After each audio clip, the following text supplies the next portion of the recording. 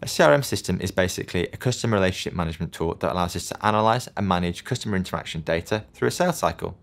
Now, Google Analytics looks at the user journey of a website and behavioral aspects of a user on a specific website. Joining these two dots together allows us to really have a look at the business data and user interaction data together. We need to have full visibility into the sales cycle that a user may go through. Now, whether this be online or offline touchpoints, such as form submissions or offline interviews. And then having this data conjoined together allows us to make informed decisions for marketing or even remarketing based on budgets and potential strategies that we can adopt. So there are a couple different CRM tools out there. There's Salesforce, Oracle, or you can even have your own custom built um, CRM system. But the methodology in terms of integrating the data remains exactly the same.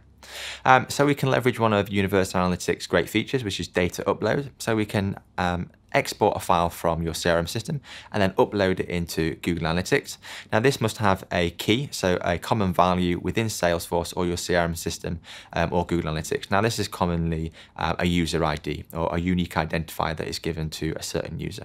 So now alternatively, we can use the measurement protocol, which pushes data straight from the CRM system into Google Analytics without having to periodically upload the data manually. Now, there's two methodologies uh, within this we can use. We can use the unique cookie ID, uh, from Google Analytics within a hidden form field, which is firstly sent to the CRM system, matched up with the business data and customer sales data, and then pushed back into Google Analytics. And then that is married up with the behavioral and user interaction data within Google Analytics.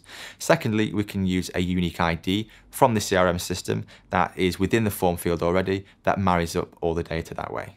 So now we have the Google Analytics data and CRM data all within uh, Google Analytics. We can start building segments and audiences um, from these users based on where they are within the, the buying cycle or the user journey they are on the website. So what we can start doing is use these audiences and segments throughout the Google stack. So things like AdWords. We can start targeting these users specific ads um, or remarketing to them in certain ways. We can also use Optimize 360, um, so use the um, audiences or segments within Optimize 360.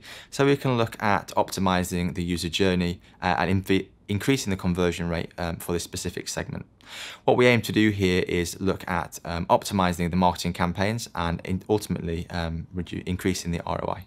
So some of the common segments or audiences that we can now create within analytics, now we have this user journey information matched with the CRM information, is things like qualified and unqualified leads and targeting ads to these specific people that way, or having a look at where they are within a specific purchase journey or sales cycle on the site. So now we can optimize online leads for online marketing campaigns and then join them together with the offline data that might be acquired through a call or an interview. Now, this call or interview might be an unsuccessful conversion. So then what we can do is upload the data to Google Analytics, and then we can optimize the marketing campaign based on this offline activity.